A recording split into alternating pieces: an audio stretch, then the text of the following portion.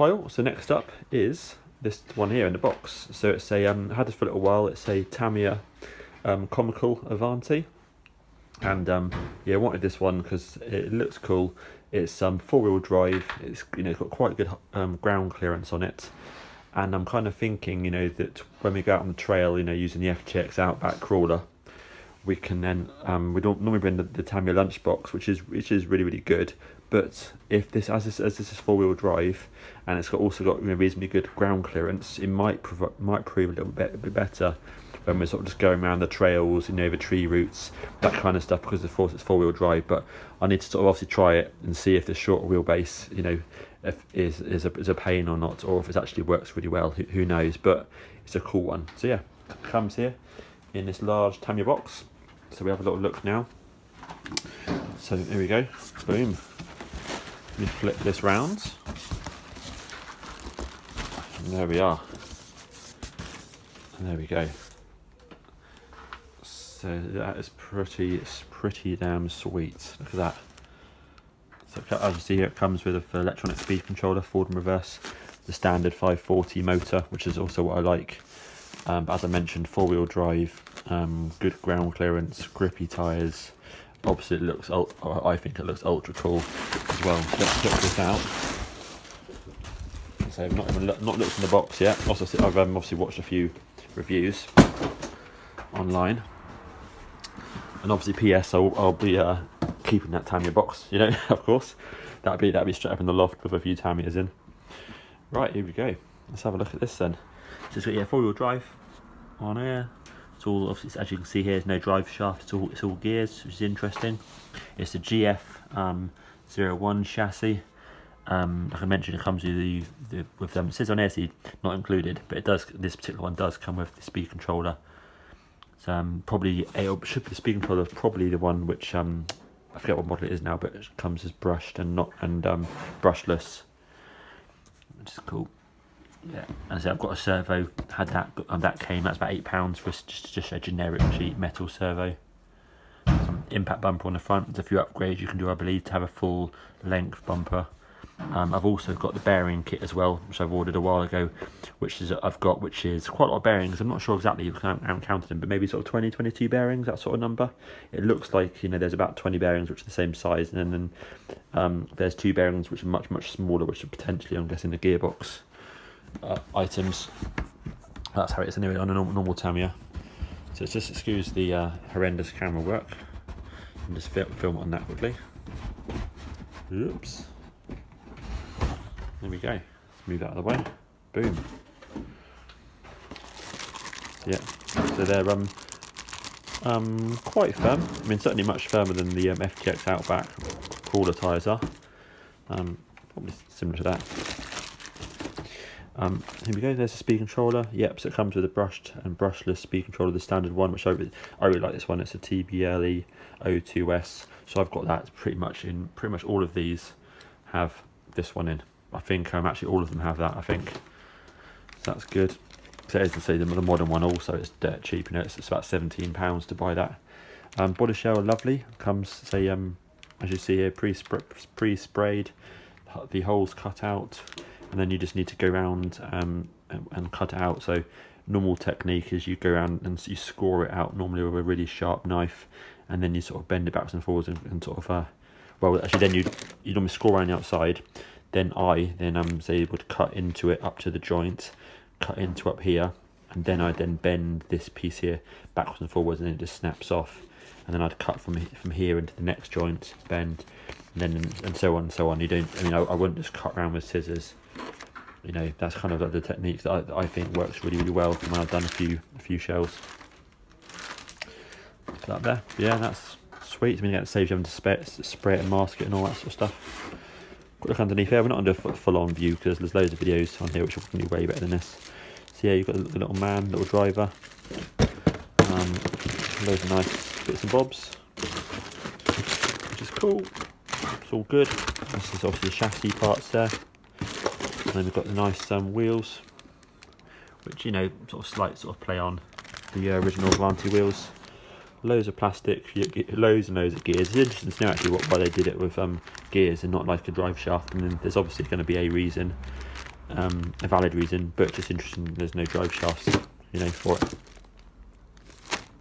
Or prop shaft, if you, maybe you've got a prop shaft. Yeah, and you get a nice big heavy bag of bits there. So the standard motor, um, loads of sort of clips, all the plastic bushings, which also I'm not going to be using. You can see here, there's a lot in there you know there's, there's two small ones and about 20 20 large ones that's really heavy um, you have the center parts for the wheels as well and instructions so we've got a sticker there's a tube in there for the aerial we've got the different um, um, uh, um, faces and eyes and bits and bobs you can have on your on your character which is cool and there's your stickers there which is good and actually, it's nice to see these actually because these are the sort of stickers here that potentially, if these were anywhere the same size, you know, you might be able to use these um, on if you're repainting your Avante because when you go and buy stickers off eBay, the reproduction ones, and I've got I've got it on my box art Avante.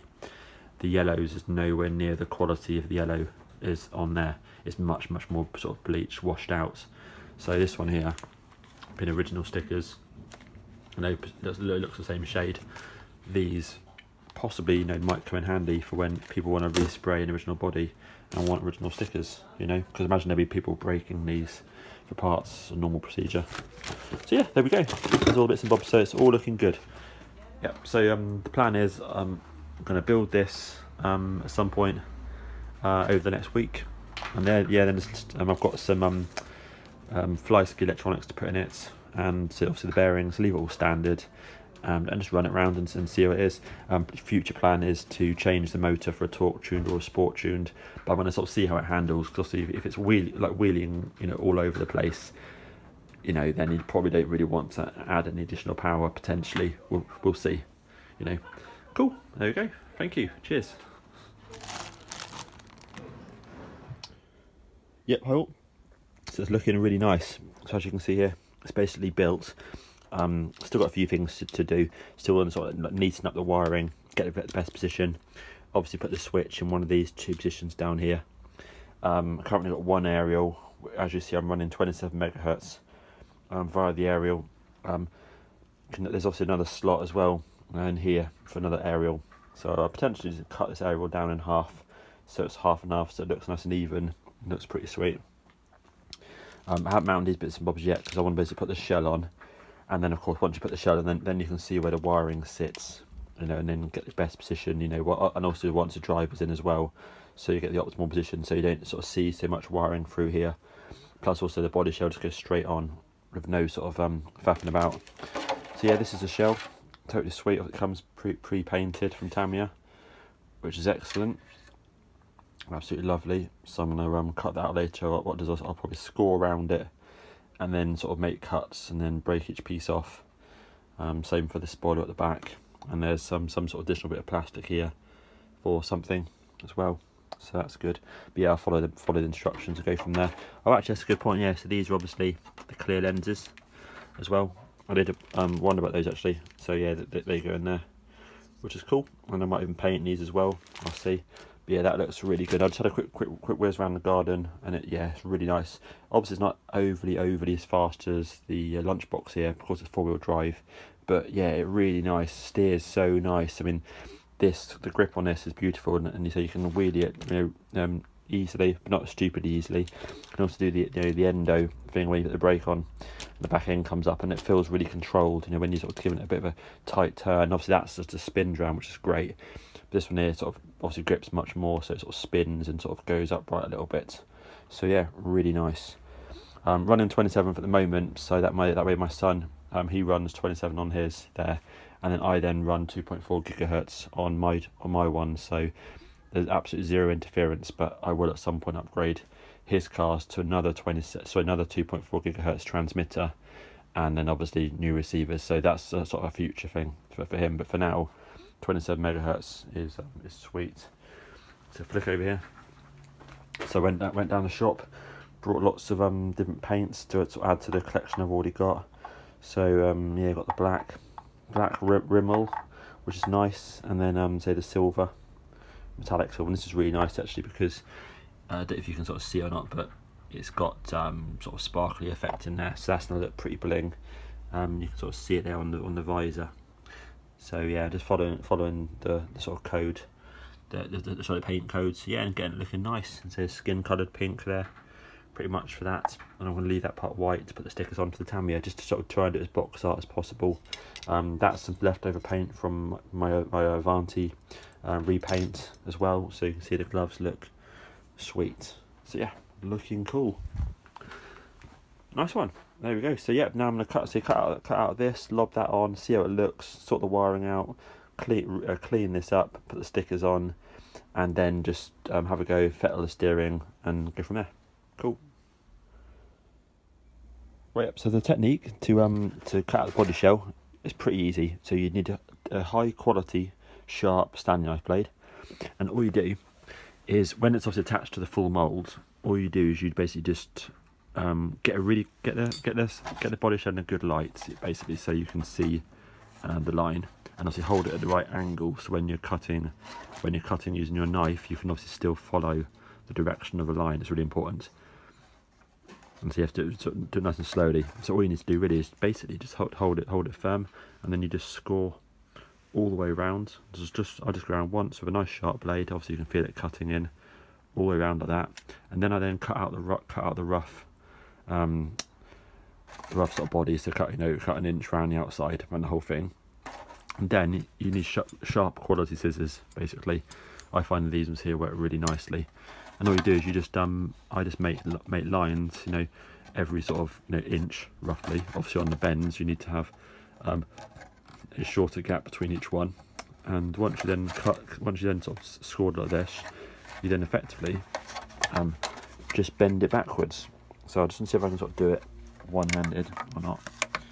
All you do is you basically just bend that piece backwards as you see there and forwards and then it's it, comes off. And you get basically a pretty much perfect finish. And obviously afterwards, once I've done it, I'll just go around literally with a just a light bit of sand, sandpaper just to sand off any sort of slight little marks. Otherwise, it's that comes off pretty much spot on. So yeah, do the whole thing like that. But the main thing is to score it properly with a sharp knife um, right the right angle so you can sort of see, see so you can see the line you can follow it down slowly and go around cool. Excellent. Yep. Hi everyone. So it's all done. Looking absolutely beautiful. So I just had a quick um, couple of goes around the garden. Really really nice. There he is. There's Paranoid Perry. It's all in pretty much box art? Um, nail varnish paint uh, polish to do that. But yeah really nice. Give it a rev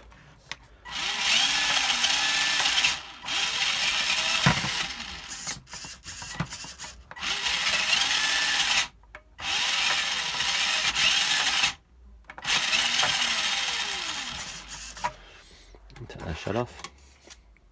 Look at that. Lovely. Right, let me just switch this off. Let me just switch this off a minute. Cool. So, yeah, really, really pleased with it. Absolutely, be absolutely beautiful. Really nice um, car to make. Um, loads and loads of bits. Not overly, overly complex, but still lots and lots of bits. So it's really, really good fun. Um, just running on standard nickel hydras, and as I said, 27 meg at the moment for that. Um, just additional stickers on there. And like I said, I just I painted him in um, using uh, nail varnish paint because it's like cheap, you know, uh, really good. And say the blue here is actually some leftover blue from a Tamiya from a Tamiya Avante, an original one which is in the same colour. So I was able to do the gloves the same colour as the body shell. So yeah, um, all looking good. All stickers are on. Dries really nice.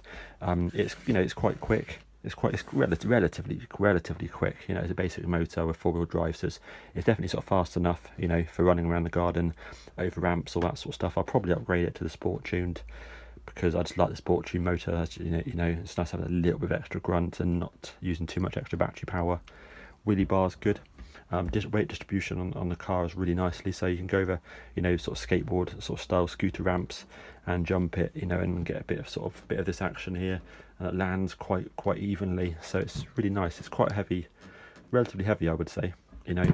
Um, but I'm really pleased. Oil filled shocks are nice, um, highly adjustable on here, and again you can lower the car as well if you don't want it to sort of wheelie and things as you know as much. Um, when you when you gun, gun it, you know it wheelies, but it doesn't wheelie ridiculous. It's not like you know um maybe like other cars, uh, like say the Lunchbox Mini, which wheelies unbelievably easy. This does wheelie, but not not ridiculously easy, you know. And you can also go along as well and say jam on the brake, and you can do a sort of front end front end what they call an endo, and sort of stop it that way. So it's, it's perfect.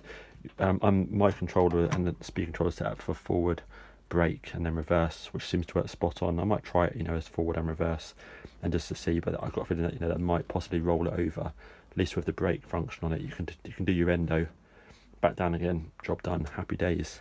So yeah, I'm really liking it. Um, I've put on the additional lights on the front that come with it. Um, I might take off these two, possibly, and just leave two. I'm not sure yet. You can also, I've also seen people flip over the flip over the bumper as well. You know, if you want, if you don't want these, you can flip it over. Let me. It's a little bit more, a bit more like an Avante bumper. Um, I'm also running some lights here. Um, you can put LEDs in these if you want to, but I'm just running them as, as they are. So I'll probably leave them on, you know. It looks, looks pretty good with them on, you know. Um, yeah, I absolutely, absolutely love it. Way prefer this than the, than the Lunchbox Mini, which is an indoor car. This one here is an outdoor car on long grass over ramps, you know, around the forest, all that sort of stuff. You know, it's, it's really, really, really good. Can't can't praise this this thing enough. So yeah, look at that. Totally sweet. Totally sweet.